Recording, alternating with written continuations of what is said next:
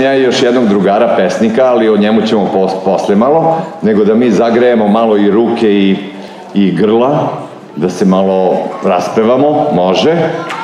Za početak, ajde da vidimo kako ćemo to, kako će to da zvuči sve. O, se čuje gitara? Da, da.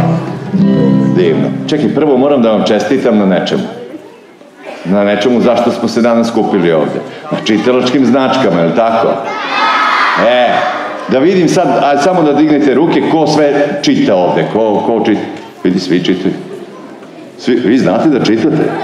Ale. A čitate knjige, je li tako? Dobro. Čitate knjige koje su namenjene vama, jel da? Ne čitate ove knjige za odrasle, to je još rano. Carstvo.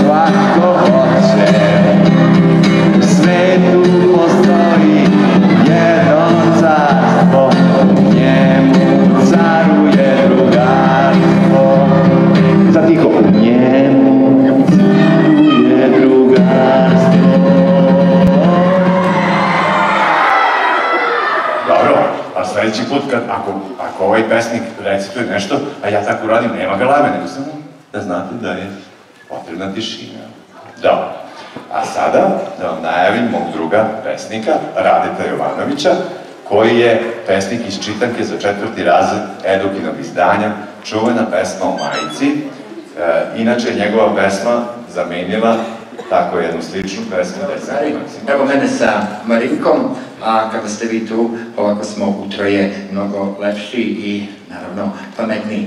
E, Marinko će malo pevati, ja ću vam kazivati neke pesme. Evo za početak jedne pesmice koja glasi Kada, kada porastem, bit ću majstor za televizor. Tu školu izučit ću da zaboravim prizor. Baka, mama i tata menjaju mi kanale. Gledaju glupost tri sata i neke strane budale. E kad porastem sutra, što da se guram i molim, ima da uđem unutra i da gledam šta volim. Koji se zaljubio u jednu mišicu, nesrećno, jer se mišica zaljubila u slepog miša, a slepi miš ima krila, tako? Ona je njega zabolela zbog tih krila i samo zbog toga. Evo pesmice. Miš šetao mišicu po polju. Kad ona ugleda slepog miša, postavi svog pešaka golju zaljubljena u krila od pliša. Miš je poljski tada zaključio da su srećni oni što lete i kod pauka naručio najskuplja krila da mu isplete. A pauk majstor isplete krila baš kakva reče maleni miš. Od ozdo svetla šuštava svila, od ozgo fini mekani pliš. Sad samo treba da ih ugradi.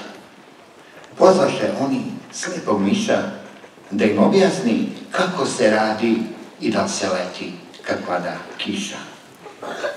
Onaj slepi, dolete tamo, slećući, tresnu glavom o stene, ustade, krene tamo, pa amo, hej, oči mu behu zatvorene. On poljskom mišu reče u nauk. Pre nego što se mašiš za džep, nek ti i oči zašije pauk. Krilati miš je, nažalost, slep. Slušaj me dobro, razmisli bolje. Ti nećeš svoju videti svilu, ni oči drage, nebo, ni polje, ni njenu glavu na svome krilu.